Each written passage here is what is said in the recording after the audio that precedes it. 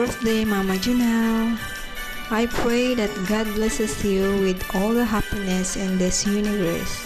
May you prosper and shine everywhere you go. This is my message for you, Mama Janelle. Even though you're not my mom, I know that you'll be there. With the little things you do, you let me know you care. You're always there to help, whatever the need may be. You've given of yourself and so unselfishly. Now you're becoming the mom that I have never known.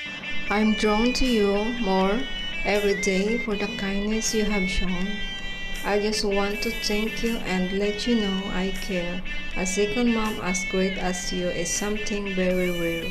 I love you so much, Mama Junel. Happy birthday.